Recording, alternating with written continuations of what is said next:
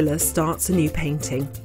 Building up text on canvas is a process he's familiar with, and yet it's work which demands huge care and concentration. He's decided on the main body of the words, but then they have to be placed perfectly before the letters are stenciled.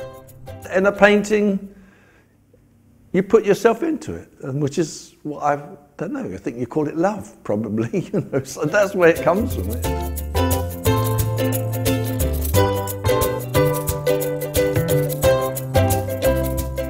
Emotion is at the forefront of David's work, and he's not afraid of painting the simple thing, be it a shape, phrase, image, or letter. So you don't want to make mistakes, otherwise you're stuck with a big R there. Believe me, this black is intense, trying to get rid of it. That's how it works anyway.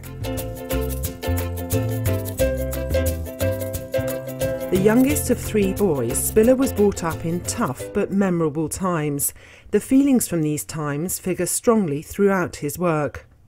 I think we were pretty poor. It was, it was a great time. It was a great time. I remember sliding down haystacks and having great fun. I mean, because we spent a lot of our time looking for flying saucers in the 50s. We were sure they're up there somewhere. They're going to come to Swanley, you know, of all the places in the world they could land, but they were never going to.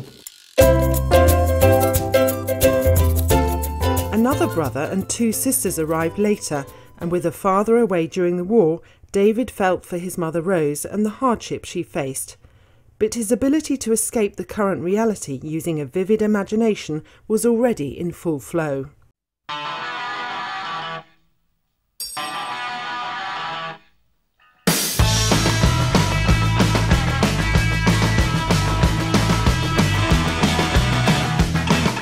It's just the freshness of it and actually the madness of doing it. I wonder whether say, that you actually owe it to people to be a bit crazy and just to try things. Yeah, I was always in the A class and things like that, I, and I enjoyed. I loved school. School was where you got books and stories. And sometimes I used to get into trouble because I'd sit at the back of the school, and if it was a, a journey up the uh, Congo rivers or something, I, I'd, I'd be in the back rowing like this and having the whole class in laughing and getting sent out. And, Oh boy. So far, as I know, it's, it's going to be just these marks. I think what happens is I will probably scrub them right down on a white or something and start again on them until I get them right. I've got to make something that makes me happy with it. Then I'll figure other people will be happy with it. But uh, at the moment, it's just uh, it's uh, a nothing. It's just I like these colours. I like the white on the sort of uh, on the sort of light ochre of the canvas. I could go back and do some writing.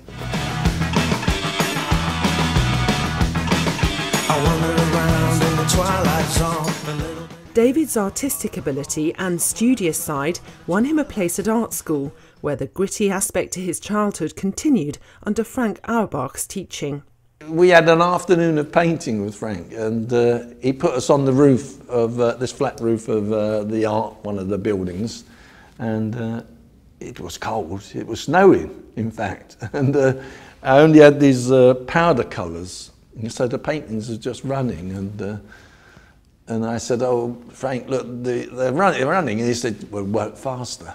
I wander around in the twilight zone, a little mini Flintstone all on my own. and Bonnie are the folks next door. David honed a style that has become his own. He got his first big break selling work in Cologne at a time when the London market fell flat. His art developed using an affinity with music alongside a growth in the use of text, together with visually familiar characters. That was what Mickey Mouse gave me. And that was really because my brother used to show them to me on a little projector. Um, and they were, they were something that I knew. So I turned to the things I knew. Uh, uh, it just, you know, I was always singing.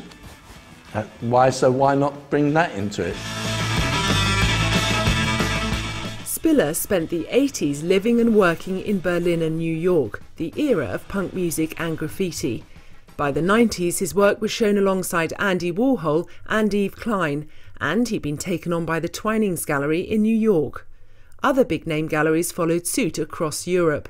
All this at a time when the UK market remained locked in tradition. His art represented the bold and beautiful, just like Van Gogh and Picasso, who he so admired. Actually, it comes from a long line of doing it. And I, I think it really was about the cinema.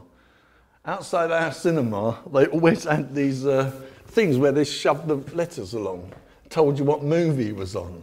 I like the song and whatever, and that, but it's really about the colour.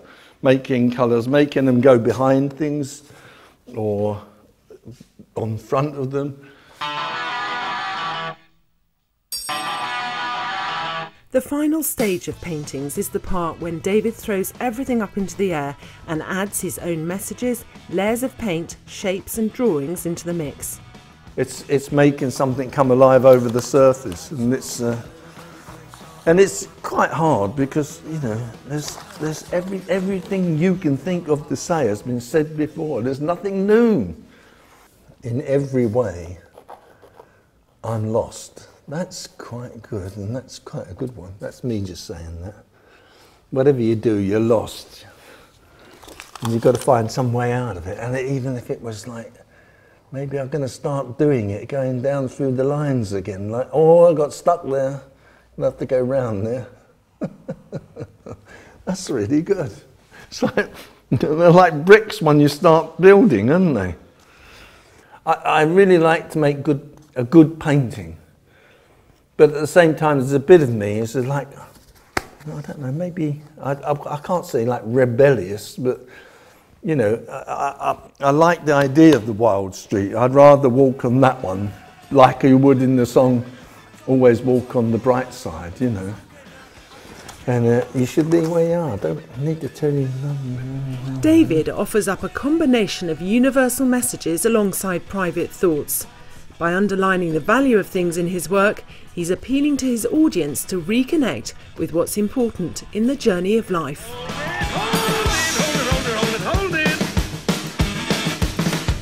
Well, I've had enough of that one. It's done. Yeah? Is that okay? Say something, woman. It's lovely. It's lovely. That's what I need to hear. Just what I need to hear.